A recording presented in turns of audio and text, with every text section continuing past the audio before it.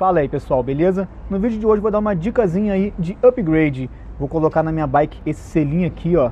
Esse selinho foi comprado na China, que é o modelo EC90 Pro 143.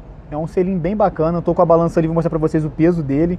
E ele é mais curtinho, e ele foi 81 reais. Na verdade, esse selinho não foi comprado por mim, ele foi comprado por um amigo meu, Matheus, só que ele não gostou muito do, da geometria da bike dele, por ele ser pequeno, ele não conseguiu encaixar muito bem. Aí, eu, como eu tô com alguns problemas aí de dores devido ao meu selim, que é esse prólogo Scratch aqui, que é um selim normal, né, tamanho normal, eu vou tentar fazer o teste com esse aqui que é um pouquinho menor, para ver se encaixa melhor, se fica legal. Sim, ele tem algumas vantagens, que ele é mais leve, ele tem essa abertura aqui, né, para não apertar ali o períneo, enfim por 81 reais, você não encontra nada disso no Brasil. Então, eu quero agradecer o Matheus aí por, por me emprestar para fazer esse teste aí.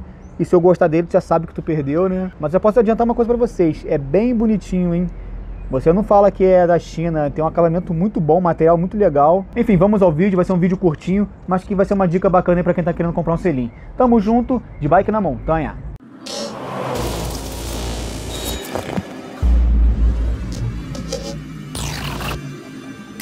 Vamos lá, galera, uma pesagem aqui do selim. 229 gramas. Agora eu vou remover o prólogo Scratch e vamos ver quanto que ele pesa também. Bom, pessoal, acabei de remover aqui o meu selim. Tô tirando aqui as pecinhas que seguram aqui, né, do canote. Para dar uma limpada, como é que fica? Fica muito tempo sem tirar, ela fica cheia de terra ali. Então, já aproveitar que eu tirei o banco, fazer uma limpeza aqui. E claro, vou mostrar para vocês agora o peso do meu selim antigo. Bom, vamos lá, galera. Vamos pesar aqui agora o prólogo Scratch que veio na bike. 335 gramas. Quer dizer, aquele outro 100 gramas, cento e pouquinho mais leve do que ele. 106, né? Deu 229, aquele outro não lembro agora o resultado, enfim.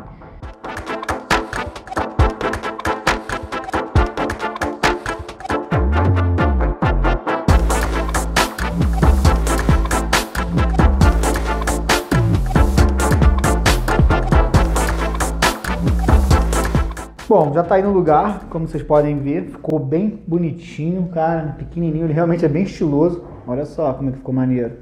E ainda não fiz aqui os ajustes, as regulagens, né, para botar ele talvez um pouquinho mais para baixo, um pouco mais para frente ou para trás. Isso vou fazer quando eu subir na bike e sentir o que, que eu preciso melhorar nele, mas em questão de estética, ele ficou muito maneiro. Colocar é mole. Ficou bonito? Ficou, mas a gente tem que saber se ele é bom realmente. Então é isso. Daqui a pouquinho volto com a avaliação final aí. Tamo junto. Fala pessoal, para variar, Petrópolis com chuva. Não aguento mais chuva. Bom, mas vamos falar do banquinho. Fiz dois testes com ele, bem maneiros, bem maneiros mesmo. Um foi um estradão, em torno de 60 km mais ou menos, lá em Minas Gerais, em Carandaí. Aquele rolezão mesmo que sobe muito, desce aquelas costelinhas que a bike bate bastante.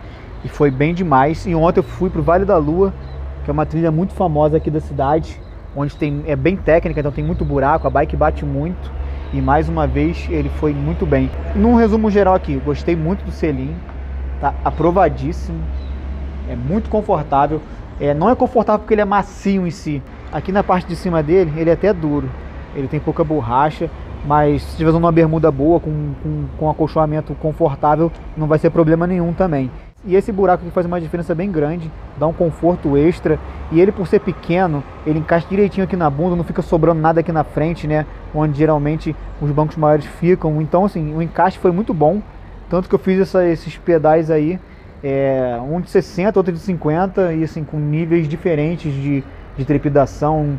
Mas num resumo geral, eu gostei muito. Cheguei em casa sem nenhuma dor que eu estava sentindo antes de usar esse banco que eram umas dores ali nas partes baixas, enfim, não senti dor nenhuma. Vou deixar para vocês o modelo desse daqui e assim, Shopee, AliExpress, você encontra um monte desse tipo aí e ele realmente é muito maneirinho. Então, testado e aprovado.